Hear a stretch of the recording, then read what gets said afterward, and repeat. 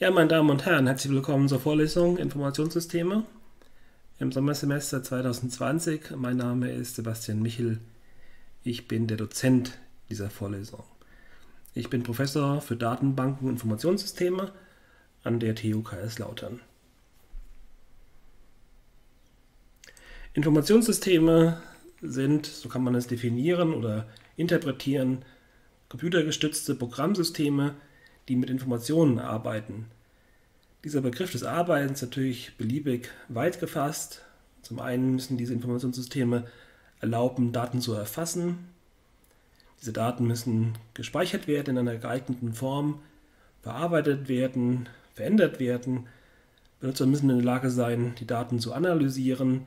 Und am Ende müssen die Ergebnisse, aber auch die Daten selbst in irgendeiner geeigneten Form wieder dargestellt werden können oder, oder herausgeladen, heruntergeladen werden können aus dem Datenbanksystem. Dass wir reden normalerweise von einem, von einem Ausschnitt der Welt, den wir modellieren wollen in einer Datenbank oder in einem Informationssystem. Zum Beispiel können wir von der Universität reden. Hier haben wir das Gebäude 47. Lässt sich relativ einfach zeichnen. Das TU Logo hier oben irgendwo drauf. Ja, sowas.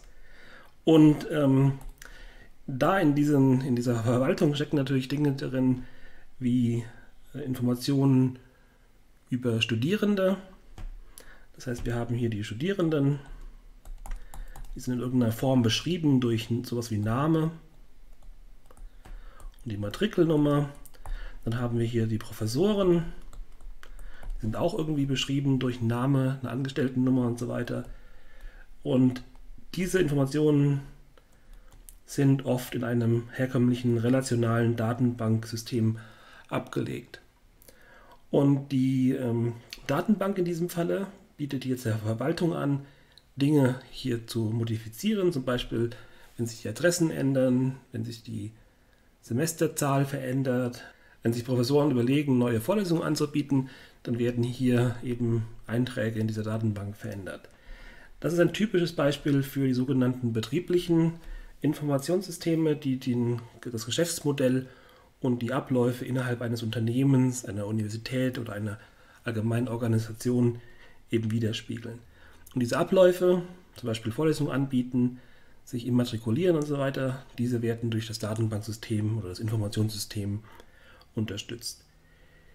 Oftmals werden auch verschiedene Datenquellen integriert und wichtig in diesem Kontext natürlich, wenn Sie sich das Beispiel von der Universität nochmal vor Augen führen, wichtig ist, dass man hier eine Gewährleistung von Konsistenz hat und in diesem Kontext ist das Schlagwort ACID eben elementar, aber dazu später ein bisschen mehr. Ich habe schon in den letzten Sätzen, die ich hier gesagt habe, Informationssysteme Systeme mehr oder weniger synonym verwendet mit Datenbanksystemen. Denn in diesem Kontext der betrieblichen Informationssysteme sprechen wir mehr oder weniger immer von Datenbanksystemen. Da gibt es prominente Vertreter, zum Beispiel Oracle, IBM DB2, Microsoft SQL Server, Postgres, MySQL und so weiter. Und hier unten sehen Sie nochmal ein Beispiel, wie die Daten innerhalb eines traditionellen Datenbanksystems, eines relationalen Datenbanksystems ausschauen.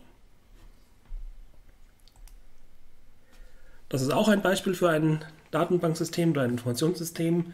Das ist das System der TU Kaiserslautern für Prüfungsanmeldungen.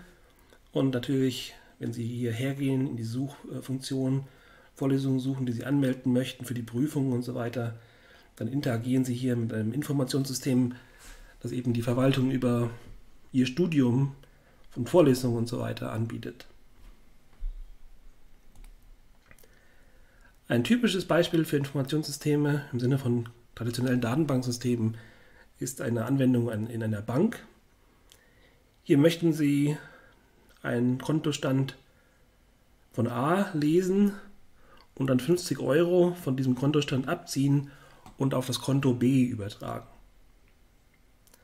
Na, das ist natürlich ein ganz einfaches Beispiel. Sie sehen, Sie lesen erstmal den Kontostand, Sie reduzieren den Kontostand um 50, Sie schreiben den Kontostand zurück in die Datenbank, Sie lesen den Kontostand vom Konto B, Sie addieren dort 50 Euro und Sie schreiben den Kontostand B zurück.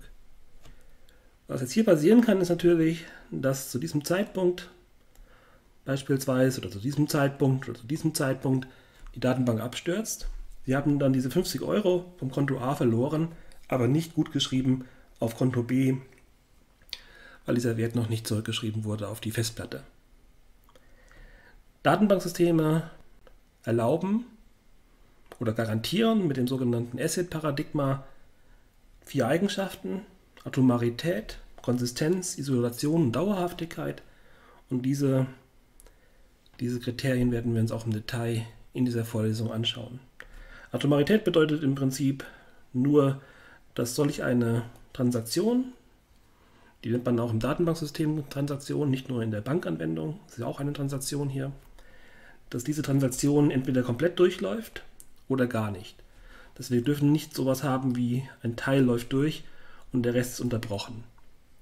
Konsistenz bedeutet, dass die Datenbank in einem konsistenten Zustand vorliegen soll und die Transaktion, die hier ausgeführt wird, diesen konsistenten Zustand nicht verletzt. Isolation bedeutet, dass wenn Sie mit dem Datenbanksystem interagieren, dass Ihnen das so vorkommt, als wären Sie der einzige Benutzer oder die einzige Benutzerin, obwohl hundert oder tausend äh, Personen gleichzeitig mit dem Datenbanksystem sprechen können. Dauerhaftigkeit bedeutet, dass wenn die Transaktion abgeschlossen ist, erfolgreich abgeschlossen ist, dass die Änderungen, die durch die Transaktion vollzogen worden sind, dauerhaft, dauerhaft, das heißt für immer in der Datenbank gespeichert sind. Auch wenn die Datenbank abstürzt, das System abstürzt und neu gestartet werden muss. Ein, ein total anderes Informationssystem, das Sie auch gut kennen, ist Google. Das ist eine Suchmaschine für Webdokumente. Und das hat wieder ganz andere Probleme oder ähm, Blickwinkel als ein herkömmliches Datenbanksystem. Denn hier haben Sie eine riesen Anzahl von Dokumenten und sogenannte Anfragen in, in, äh, in Worten, also termbasierte Anfragen. Zum Beispiel hier sehen Sie die Anfrage Britney Spears, die einige von Ihnen vielleicht noch kennen werden. Sie sehen auch, dass Britney Spears falsch geschrieben wurde und Google vorschlägt, ob Sie nicht vielleicht doch diese Schreibweise meinten.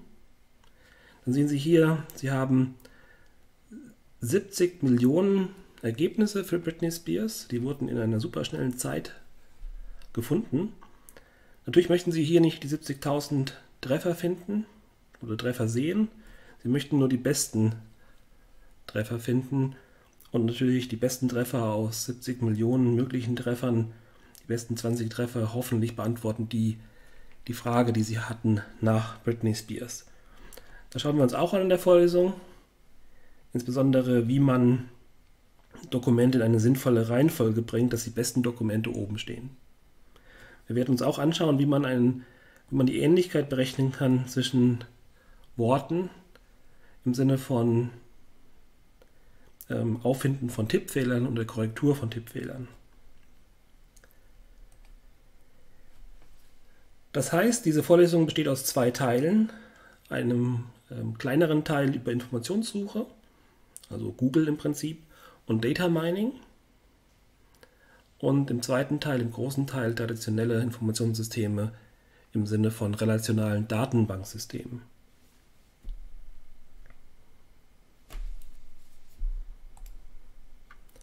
Eine kurze Übersicht zu den Inhalten. Informationssysteme.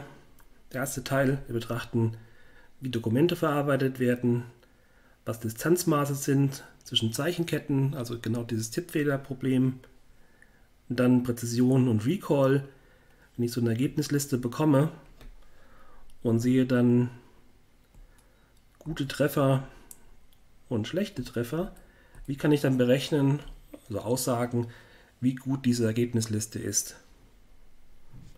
Das macht Precision und Recall. Und dann das Boolschen-Modell, Vektorraummodell und TF-IDF. Das sind Methoden, die es uns erlauben, Dokumente in eine Reihenfolge zu bekommen, und hoffentlich stehen dann die guten Dokumente, wie hier in dem Beispiel, wenn die grünen Dokumente die guten Dokumente sind. Hoffentlich finden wir die oben in der Rangliste und ähm, sind zufrieden mit unserer Suchmaschine. Dann weitere Aspekte, Vielfalt und Neuheit. Das heißt, man möchte nicht Dokumente hier oben stehen haben, die alle sehr ähnlich sind, sondern möchte eine Diversität haben.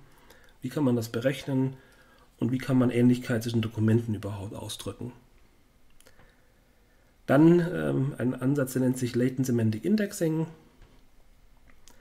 Da möchte ich jetzt gar nicht viel zu sagen. Und dann abschließend für das Kapitel der äh, PageRank-Ansatz, den die Gründer von Google 1998 publiziert haben, der berechnen kann, welche Aussagekraft und Autorität unterschiedliche Webseiten haben.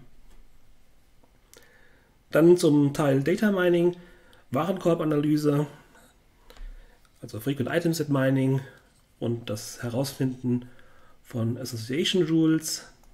Zum Beispiel könnte man, wenn man Warenkorbe betrachtet im Supermarkt, herausfinden, dass äh, das Bier und Orangen, die, diese Menge sehr oft zusammen gekauft wird. Und man könnte als Regel auch noch rauskriegen, dass wenn, wenn Windeln gekauft werden, dass dann auch oft Bier gekauft wird.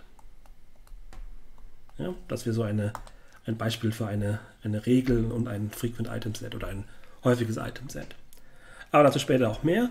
Und dann am Ende des Kapitels noch Clustering, ganz kurz, mit dem berühmten Kamins-Algorithmus, mit dem wir Datenpunkte in Cluster einteilen können. Okay, gut. Das war das Kapitel Übersicht über das Kapitel Informationssuche, ganz kurz nur. Das ist auch das erste Kapitel, das wir betrachten werden. Und wie gesagt, im zweiten Kapitel dann Datenbanksysteme. Das ist ein bisschen länger, das Kapitel Datenbanksysteme. Wir betrachten Entity Relationship Modellierung. Das heißt, wir werden uns dann überlegen, wie kann man die reale Welt modellieren. Zum Beispiel kann man hier Studierende haben und wir haben auch Vorlesungen.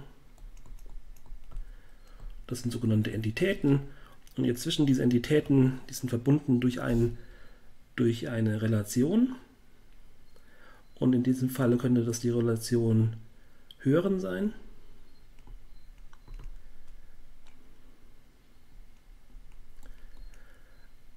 die diese beiden Entitäten verbindet. Ja? Wenn wir sowas modellieren, natürlich kommen noch viele andere Aspekte dazu. Professoren halten ja Vorlesungen, das heißt, wir haben hier auch noch Professoren. Na, das war die falsche Farbe. Wir haben hier also Professoren. Sind auch Entitäten.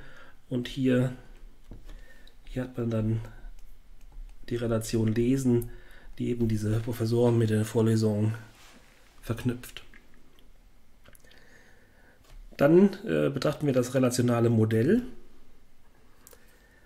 Das ist im Wesentlichen, wie kommt man jetzt von diesem Schaubild in die Welt der Relationen, also Tabellen im Wesentlichen. Ja? Wir müssen dann diese einzelnen Entitäten, aber auch die Relationen überführen. Wir werden uns auch betrachten, was gute Tabellen sind, also wo der Entwurf von diesen Relationen, wie, wie man den bewerten kann in gut und schlecht, anhand von Dingen wie Redundanzfreiheit und so weiter. Das kommt im Kapitel Entwurfstheorie. Dann möchten wir auch Möglichkeiten haben, diese Tabellen oder Relationen anzufragen. Das heißt, um zum Beispiel alle, alle äh, Studierenden zu finden, die in dem Semester größer als 12 sind. Und wenn wir so eine Relation haben, die nennen wir S, da sind alle Studierenden drin, dann kann man hier mit so einem Operator, der sogenannte Selektionsoperator, auf dieser Relation mit dem Prädikat Semester größer als 12 alle die Studierenden rauskriegen, die im Semester größer 12 sind. Aber dazu auch später mehr. Es gibt eine Menge von diesen Operatoren und wir werden sehen, wie man die verknüpfen kann, um recht komplexe Anfragen auszudrücken. Das, äh, diese Operatoren fallen in das Gebiet der relationalen Algebra. Es gibt aber noch andere Möglichkeiten, Anfragen zu stellen, insbesondere natürlich mit der Standard Query Language SQL, die wir im Detail auch kennenlernen werden. Weitere Aspekte sind Sichtendefinitionen, warum die notwendig sind oder hilfreich sind und äh, fortgeschrittenere Anfrage, Anfragen SQL, die sogenannten Fensteranfragen und Rekursion. Dann möchte man natürlich auch mit einer Anwendung, zum Beispiel in Java geschrieben, auf Datenbanken zugreifen. Da gibt es zum Beispiel das JDBC-Interface, das dies erlaubt. Das werden wir uns auch anschauen, auch in praktischen Beispielen in der Übung und so weiter. Ja. Es gibt auch benutzerdefinierte Prozeduren, wo Sie Programmcode schreiben können, der in der Datenbank direkt gespeichert wird und auch Dinge wie Trigger und Bedingungen, die Sie an die Datenbank stellen können, zum Beispiel, dass äh, eine Vorlesung einen Dozenten haben muss und der Dozent muss benannt sein. Das heißt, man darf keine Vorlesung haben, die einen nicht spezifizierten Dozenten hat, zum Beispiel. Ein Beispiel für einen Trigger wäre, Sie haben eine einführende Informatikveranstaltung und wenn ein Student sich einschreibt oder eine Studentin, wird automatisch dieser Studierende in, die, äh, in diese Vorlesung eingebucht werden. Anfrageverarbeitung beschäftigt sich dann mit dem Problem, wie effizient diese Anfragen, die wir in SQL schreiben können oder in relationaler Algebra schreiben können, ausgeführt werden wie kann man äh, überhaupt erlauben oder garantieren, dass das Datenbanksystem effizient arbeitet. Das sind die sogenannten Indexstrukturen elementar. Wir werden hier den berühmten B-Plus-Baum anschauen und auch ganz kurz Hashing betrachten. Auch ganz kurz zur Anfrageoptimierung, Kostenschätzung und regelbasierte Anfrageoptimierung betrachten und zu guter Letzt Transaktionskonzept, diese ACID-Regeln und wie man es erlauben kann, dass mehrere Benutzer gleichzeitig auf die Datenbank zugreifen können. Und was passiert, auch nur ganz kurz, wenn die Datenbank abstürzt, wieder anläuft, wie kann man garantieren, dass die Daten nicht teilweise, sondern komplett und dauerhaft und konsistent im Datenbanksystem gespeichert worden sind.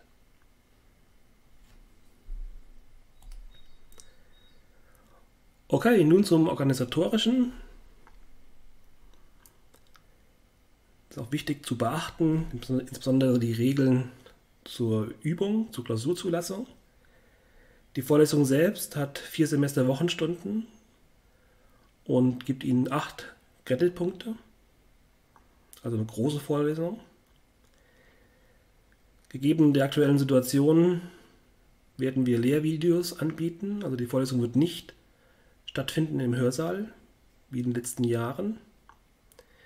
Es wird eine Sprechstunde geben pro Woche, die ich Ihnen anbiete.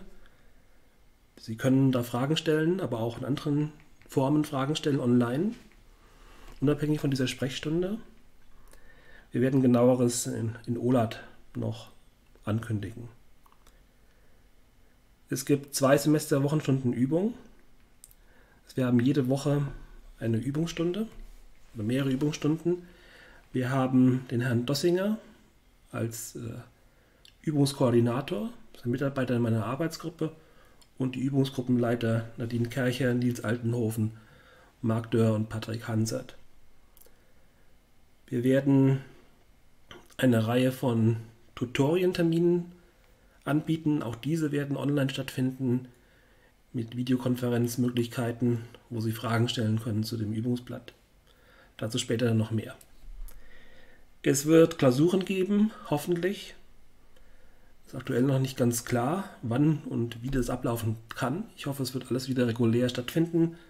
Ab spätestens Ende Juli, wenn wir normalerweise die Klausuren haben. Wir werden zwei Klausuren anbieten in diesem Semester. Wir werden also keine ähm, Klausur anbieten im Wintersemester. Das heißt, wenn Sie jetzt die Klausurmöglichkeiten haben im Sommer, ähm, es gibt zwei Möglichkeiten, aber es gibt keine im Frühjahr. 2021. Das ist wichtig zu merken. Für die Zulassung zur Klausur braucht es eine erfolgreiche Annahme, Teilnahme am Übungsbetrieb. Das äh, werden wir auch gleich sehen. Denn es gibt zwölf Übungsblätter insgesamt. Wir werden die wöchentlich ausgeben und die werden in der darauf folgenden Woche besprochen werden. Äh, diese Übung findet, äh, ist, ist organisiert über OLAD. Den Zugangscode sehen Sie hier, Integer. Auf diesen zwölf Übungsblättern gibt es insgesamt 40 Aufgaben, die Sie in Vorbereitung auf die Übung oder die Klausur auch lösen müssen. Wenn Sie die Lösung komplett richtig haben, bekommen Sie jeweils einen Punkt. Das heißt, am Ende gibt es 40 Punkte zu erreichen und Sie müssen 30 Punkte erreichen, um die Klausurzulassung zu erhalten.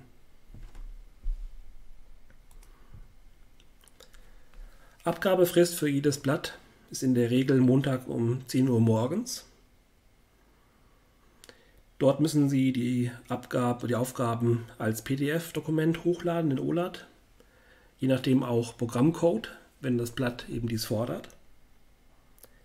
Die Abgabe erfolgt idealerweise in Zweiergruppen, nicht mehr als zwei.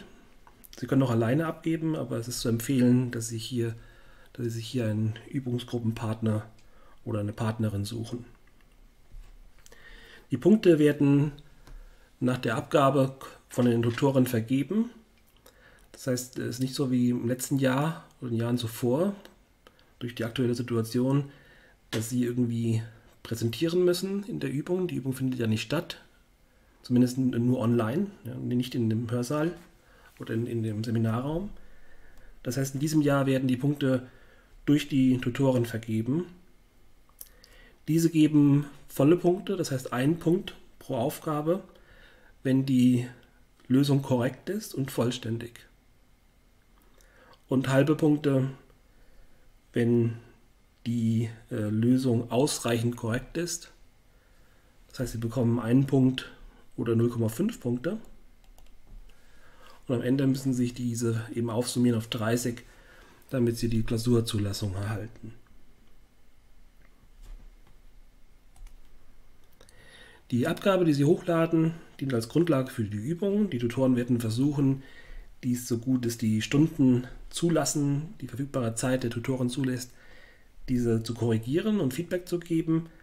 Allerdings, ähm, da dies auch begrenzt ist, dient die Abgabe hauptsächlich dazu, zu kontrollieren, dass sie die Aufgaben bearbeitet haben und auch für uns zu sehen, was so typische Probleme sind, die dann in den Sprechstunden, in den Übungsstunden online nochmal vertieft werden können.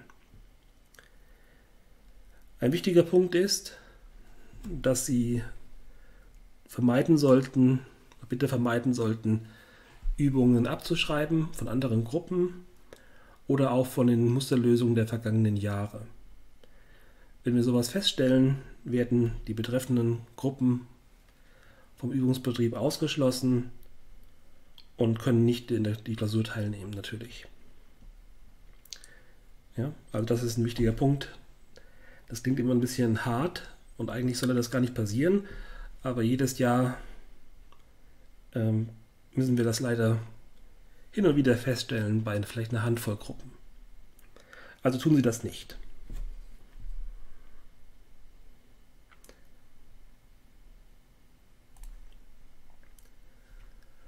Vorlesungsfolien werden zu Beginn des Semesters via OLAT veröffentlicht. Das ist ein großes PDF. Und basierend auf diesen PDF-Folien äh, werden wir Lehrvideos erstellen, die auch in OLAT verlinkt sind. Diese werden nach und nach veröffentlicht. Die Übungsblätter werden bis spätestens dienstags auch in OLAT hochgeladen und die Abgabe auch in OLAT muss dann eben Montagmorgen erfolgen, den Montag darauf. Der Abgabetermin ist auf dem Übungsblatt nochmal explizit angegeben. Nach der Abgabefrist, also vor den Tutorien natürlich, wird es ein Video geben, in dem die Lösungen besprochen werden. Dieses Video wird ebenfalls in OLAD hochgeladen werden. Und dann kommen die Übungsgruppen ins Spiel. Die Tutoren werden da Sprechstunden anbieten, aber Näheres, äh, wie das genau stattfindet, mit welchen Techniken und wann genau, auch das wird in OLAD bekannt gegeben. Ja, noch kurz zur Literatur. Zum Kapitel Informationssuche gibt es hier ein schönes Buch. Das sollte auch mehr oder weniger komplett online verfügbar sein. Das ist von äh, Manning, Ragavan und Schütze, Introduction to Information Retrieval. Das ist ein englisches Buch. Ähm, das sollte aber nicht das Problem sein. Da gibt es die Beispiele, die wir auch in den Übungen benutzen. Die Technologien werden da auch beschrieben. Das äh, sollte sehr hilfreich sein. Zusätzlich zu den Lehrvideos und den Folien. Allgemein möchte ich sagen, sage ich jedes Jahr, manchmal denke ich, es wird grundsätzlich ignoriert, von den meisten zumindest, aber ich möchte trotzdem nochmal sagen, Sie haben das ja noch nicht gehört von mir, äh, lesen Sie Bücher. Die Vorlesungsfolien und auch das Anschauen der Videos oder vormals eben den Besuch der Vorlesung, ist kein Ersatz für das vollständige Verständnis der Folien, wie es äh, die Lektüre eines guten Buches sein kann. Dass wenn Sie Schwierigkeiten haben und die Inhalte zu kompliziert sind, auf den ersten Blick, schauen Sie in Bücher. Die meisten dieser Bücher sollten auch frei verfügbar sein, in, in großer Anzahl in der Bibliothek. Und wie dieses Beispiel hier ist es auch online für alle verfügbar. Im Data Mining Kapitel habe ich hier drei Bücher rausgesucht. Natürlich ist es nicht notwendig, alle diese Bücher zu kaufen oder zu, auszuleihen. Diese Bücher sollten auch zum großen Teil online verfügbar sein. Insbesondere die relevanten Kapitel, wie in diesem Buch, hier oben sind online, online verfügbar. Das heißt, auch da kann man ohne Probleme nachlesen, wenn Schwierigkeiten auftreten. Literatur für Datenbanksysteme, da gibt es hier in grün hervorgehoben den Klassiker von Alfons Kemper und Andreas Eickler. Datenbanksysteme, eine Einführung, da, da gibt es auch viele Exemplare von der Bibliothek. Dann zu den Implementierungsaspekten, das ist nicht so extrem relevant für diese Vorlesung, das ist eher für Datenbanksysteme im Winter, wo man mehr ins Detail geht, wichtiger. Das Buch von Theo Herder und Erhard Rahm, Datenbanksysteme, Konzepte und Techniken der Implementierung. Dann gibt es noch von El, El Masri und Navate äh, Grundlage- und Datenbanksysteme, Systemen und das Buch von Ramakrishnan und Gerke, Database Management Systems. Ähm, das sind Bücher, die man ja, gut lesen kann für einen Einstieg. Es gibt noch weitere Bücher natürlich. Das ähm, ist keine Frage, aber ich denke, für die, für die Vorlesung hier würde im Prinzip hier dieses recht einfache Buch von Kemper und Eigler ausreichen.